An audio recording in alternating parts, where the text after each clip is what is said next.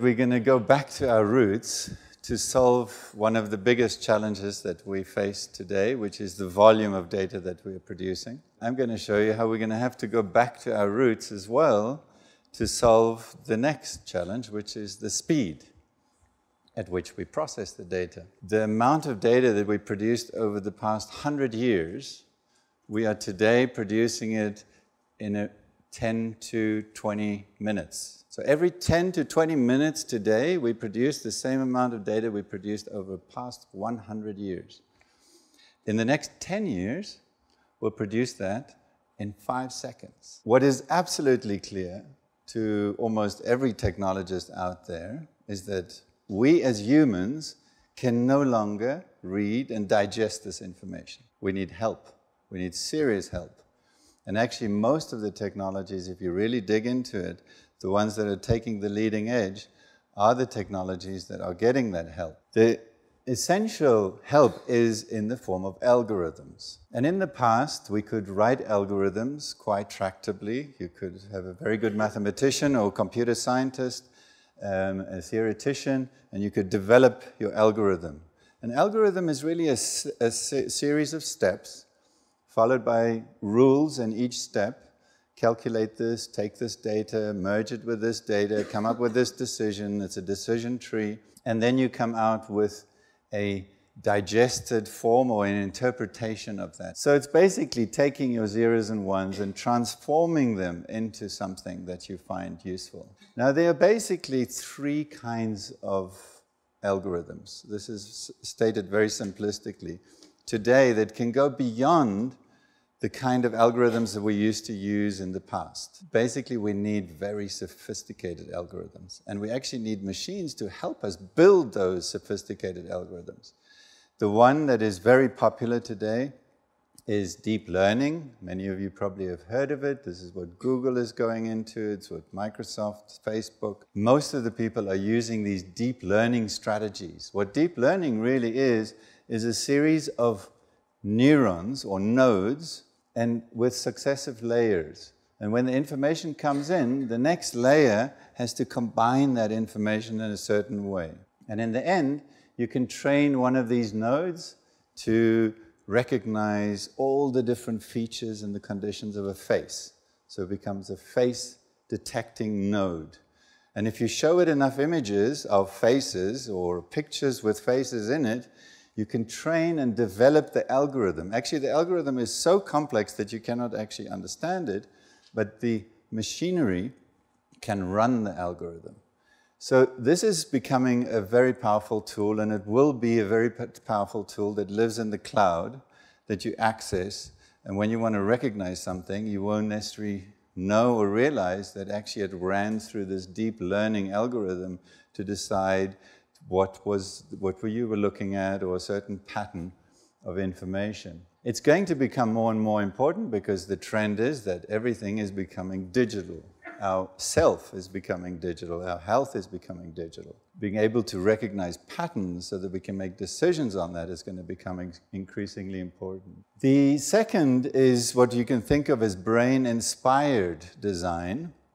Um, although deep learning is partly brain inspired design, it's a very structured network. But a brain inspired design is more of a massive set of interconnections. It's a concept of what the brain could be doing, and we try and mimic that concept. So, IBM's Watson, for example, is probably a very good idea of kind of cognitive computing, where we look at the brain and we see that it's got sensory areas and it's got reasoning areas and decision making areas and reward areas. And we mimic those mathematically and try and get the machinery to make these decisions. So Watson can take all of the millions of pages of, of uh, Wikipedia, for example, and it can actually run it through this kind of conceptual model of the brain and it can make decisions on them. And it's actually incredibly powerful and very useful. The third direction is the emerging direction. And of course, this depends now on much more concrete information about the brain, which you could think of as the brain derived design. Mimic the brain as accurately as possible. After all, it is the product of four billion years of evolution. It has to have the intricate connectivity in the circuits. To get to brain design, you need to understand a lot more about the brain, how it's put together, how the neurons are structured. And the essence uh, is really that you have neurons and you have a lot of cables. You have enough cables in your brain to wrap around the moon a couple of times in just your brain. So there's a lot of cables that are connecting and forming this intricate network. And what it's really doing is carrying out an algorithm through these different networks. Just to give you an idea, you also have synapses that have to connect these neurons. And these are synapses in a piece of the brain the size of a pinhead, 40 million synapses that have to connect about 30,000 neurons in a small piece, just the smallest possible piece that you could look at. They are the messengers between cells. And by controlling these messengers, you can control the algorithm. But as you can obviously realize, there's nobody can program this. You have to let it learn. And that's why the brain is so powerful, that actually learning involves adjusting the algorithm that is happening at all of these different synapses. We are beginning to be able to piece together how these neurons are fitted together, how they connect together, and how they function. And this is an, a real simulation on a supercomputer. And the color that you see are voltage fluctuations. What you're really seeing is the brain carrying out algorithms, but they're very, very sophisticated algorithms that you have to, uh, and, and as you learn, you adjust your communication between your different nodes so that you can actually execute that algorithm better and better and faster and faster. This is just an example of uh, the kind of circuitry that you get in a, such a tiny piece. Now, again, it's about the size of a pinhead you have about 7 million connections, 40 million synapses that are connecting them together. And we're starting to get a good idea of the blueprint circuits. And these circuits could be printed into silicon chips and then run, mimicking closely how the, the algorithm that has come out of evolution. You can, of course, take that further, and this is a simulation of a region of the brain that is where you have now about 5 million cells, and they're interacting together, executing the algorithm. Now, of course, you can see that this is very different from what you would look at if you looked at a computer processor and how they are transmitting information. Here, there's much more patterns are forming, and these patterns are reflecting the kind of algorithm that is being executed in order for the, the animal to make a decision about what it is it's seeing or to be motivated to change its goal or to achieve a goal. But you can take this now further towards a whole brain simulation, and this is the beginning of a whole brain simulation at uh, the, it's still a very simple neuron level. And one can synthesize these branches because these branches are really the result of the brain evolving to be able to execute more and more sophisticated algorithms, but also to be able to learn. So actually, the, one of the reasons why the brain is so complex is that it had to advance the algorithms, but it also had to allow them to become adaptable. So you could throw the brain into different environment and the algorithms would change. So what we are doing to be able to allow these algorithms to change is to embed them into virtual objects, structures, or virtual mice, or virtual animals, or a car, as I'll show you in a second. So to do that, you actually have to, we're still at a stage where you still have to run the brain simulation on a massive supercomputer. Going towards the human brain, this will be a billion euro supercomputer or half a billion euro by then. And you actually still need supercomputers to be able to create this virtual environment with virtual, um, a, a virtual robots that would be controlled by this brain. So this is just an example that you would then take this and today already we can couple this. In this case, it's just a plate that has to balance a ball. In this case, it's a very small brain circuit that already is able to drive, self-drive a car. And as these become more and more sophisticated, you will have a single chip that will be able to be plugged into your car and allow you to self-drive it as we go further into the future. So This is an example of a robot in the Human Brain Project. One of the things that we're doing, the European Human Brain Project, is that for many years, uh, researchers at the Technical University in Munich have been evolving physical robots. And this is one of the most advanced, latest robots called Roboy. And he's actually a showcase. He goes around to stages and to schools, and, and, and he can in, people can interact with them and talk and question. And there's a lot of intelligence that's gone into this. But now, what we will try and do is to see how we can add intelligence to that by using these brain derived circuits that closely mimic how the brain functions. So, basically, why would you want to go from these fantastic chips that we use today, which are fast and highly reliable, to a brain like circuit which is eh, somewhat much slower in some sense? They communicate in the range of hertz and not gigahertz, and very messy, appearing very messy. Well, there are many different reasons, which you can see here. It's adaptive, it's iterative, it's self learning. You can throw it into an environment, and the algorithm will find its way until it can learn. It's contextual, which means you change, switch off the light, and it will adapt so that the algorithm can still operate. And it can become very personalized, it can be adapted to you. The most important technological reason really is power and uh, cost efficiency.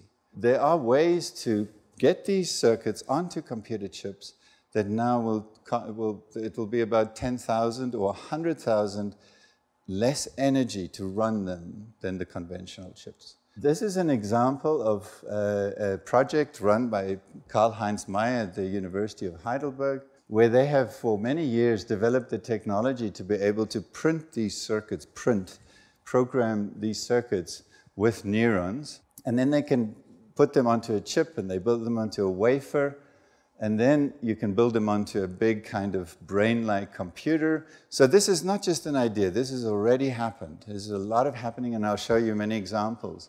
There's a, a small board you can get today. It's a USB stick, and you can actually start doing brain like programming. The state of art is uh, this uh, chip called the BrainScaleS chip, developed in Heidelberg, where you now can have a, uh, 4 million neurons. And this is some of the most advanced neurons you can put onto silicon with a billion plastic chips. So you have a very large network it would cost, it would be incredibly expensive uh, uh, energy wise to run simulations of that. And this can do it 10,000 times faster than you can simulate it on a computer and actually uh, 10,000 times more cost efficient. Most important, it becomes highly user configurable. So you can, even a non expert can start programming these circuits. The second generation is developed by Steve Furber at Manchester University. He was the architect of the ARM processor, which is in all your cell phones here. He has taken a different route to neuromorphic computing. All of this is called neuromorphic computing, where he takes commodity hardware, which is the ARM processor, and it is configured to be able to act as neurons and connections. And then they can embed this and they've reached up to a, about 50,000 chips or a million cores. This, in principle, today can already capture a trillion neurons. That's more than the human brain, but that's only with one input to each neuron. So they could actually go to about a billion neurons with close to 100 billion synapses.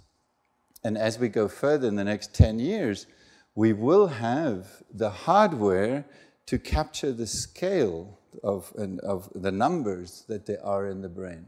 The two projects that there are, those are both run in the Human Brain Project, but there are other projects at Stanford. The Boahen uh, group has built an amazing uh, neuromorphic chip where they basically have only neurons sitting on the chip. They can build this into a board, they can build a million neurons into it. It's about 100,000 times more energy efficient than any chip out there.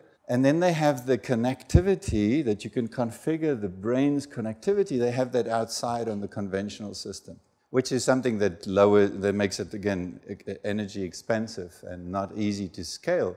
But nevertheless, this is one of the other exciting developments that have happened in the past few years. IBM has developed a very exciting chip as well, which basically allows you to put about a million neurons together. The more neurons you have, the more sophisticated the algorithm is. The more sophisticated the connectivity is, the more sophisticated the algorithm is. The more plasticity you put on it, the more you can adapt the, the algorithm. So these are one-bit synapses, so it's really just a binary system, but you can still scale this to very, very large systems today, and they've built a very nice software on layer on top, where you can actually now program these to start building the algorithms that you need for whatever big data challenge you need. This can run at real time on very, very large data sets.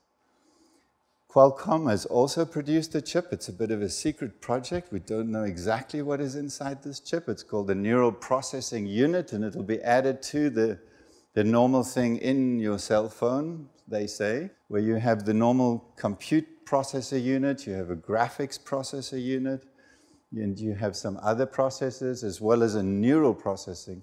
And that allows you to do this kind of human-like analysis on the data. Very low cost, very high volumes of data, very fast. So there are already these five major initiatives, different directions, some of them complementary, some of them have certain strengths and other weaknesses, but they exist today and they are being evolved at an incredibly high speed in order to make it possible for us to digest, make decisions on big data. We're talking about petabytes of data or exabytes of data in the future as fast as possible. So there's clearly hope that not only can we deal with the volume with DNA storage, but we're going to be able to deal with the speed of making decisions on such massive volumes of data. There are many applications.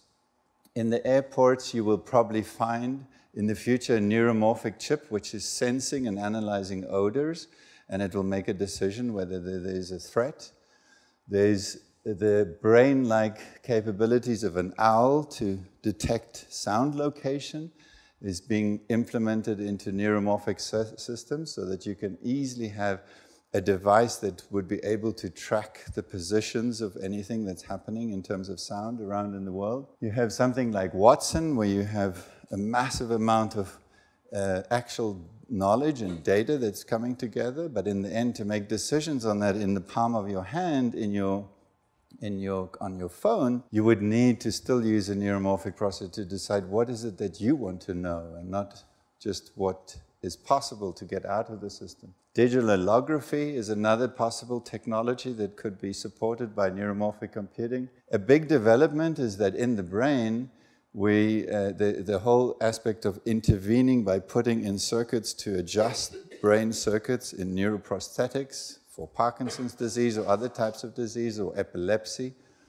they would have neuromorphic processes to help the to help make decisions as to when to stimulate, where to stimulate. There's a whole range of others. I think the, the most exciting thing is that what we're really going to feel, probably more concretely than anything else, is that we're just not going to need to go through all these settings that you have to put your preferences. You know, your preferences in an iPhone or in whatever application you go into, it's going to get more and more complicated and you get very irritated. I fill in my preference, I don't want this, I don't want this, I don't want. In the future, you will have these accompanying chips that will adapt to the world not because you tell it to, but because it observes what you do. So I think that's going to be something that is very exciting about having this new kind of solution to how we're going to deal with the massive speed of big data.